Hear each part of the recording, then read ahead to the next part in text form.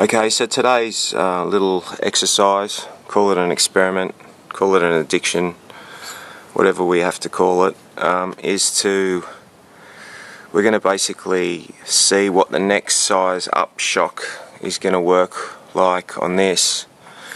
With, with the sway bar disconnected off that end. So I don't actually have the next size shock here but I'm going to use the rubbers on the existing shock and put them on the other side to create um, I guess a longer a longer opening I'll show you what I mean. So here this is how the, the shock's sitting on the car now and it's got a, probably 120, 120 odd mil ride height. Um, shaft exposed I guess at ride height I mean. And now the next shock up is 50 mil longer. What I've done is I've taken the other side shock off and I've put the rubber on the inside of it, top and bottom, and that's created a smaller opening here which is going to give me more droop. So same on the bottom. To replicate what the longer shock is going to sit like I think I've gone a little bit more so there'll, there'll be a bit more shaft on the new ones that are coming. So we're just doing this here at home to make it easier for when we just go out the bush and, and just test it so we've undone the we've undone the bolt we're just going to temporarily replace it with this linch pin Okay, so these are just a couple of linch pins I had floating around. Now the other measurement I'm going to need for this experiment, I'm going to need it when we're out in the bush. It's the how much shaft we've got. So if we can remember that one, it's 220 mil. So when we flex it up, we'll see if we're using all that shaft. So that's in at it's new. Pretend. Ride height. Okay, so this is with the sway bar still hooked up. And um, we've got this wheel off the ground. I'm just going to back it back up to the level ground now and um, come back down. But first we'll take a measurement. 130 of shaft. Okay so here's the start of the unknown. And um, the linch pins are out I am very intrigued. Indeed. Well that's a wow. That's the sway bar disconnected now. Now is 190.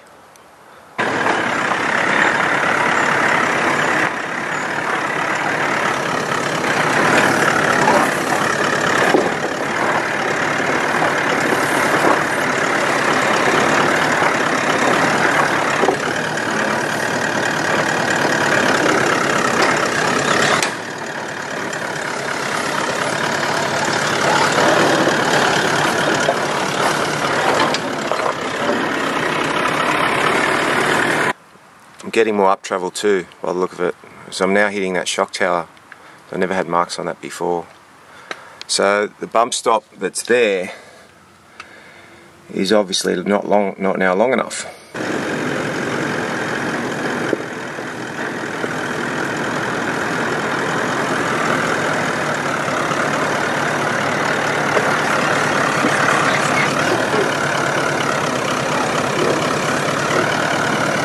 Yeah, that's a huge difference for me. It's about four inches of travel.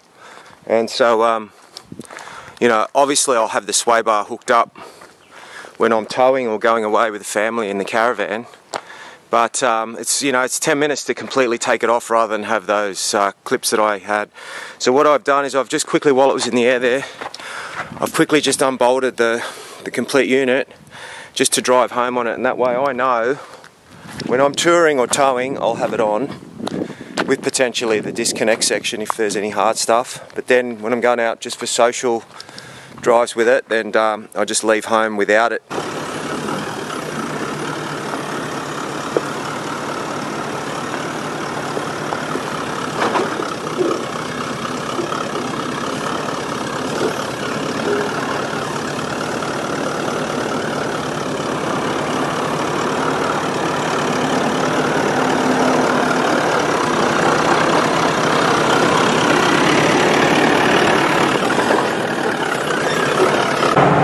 So on road for me, um, I haven't felt any difference at all. And um, for me again, the um, the pros definitely outweigh the cons.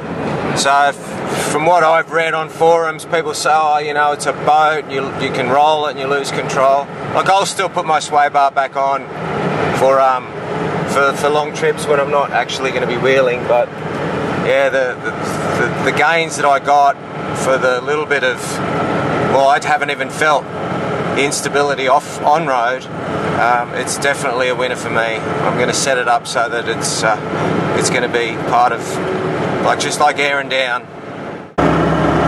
So it's the sort of travel I expected when I bought a 79 with the live front end, coil suspension, um, and you know all over the forums people are complaining about how how rigid the front is, and you know you really have to do a little bit of work even to the motors in these things to uh, to make them perform. And the suspension's been no different but I think we found a way that I'm going to be happy with it. And I'm not going to be picking wheels up and trying to fall over all the time. So um, I'm happy. And again thank you for watching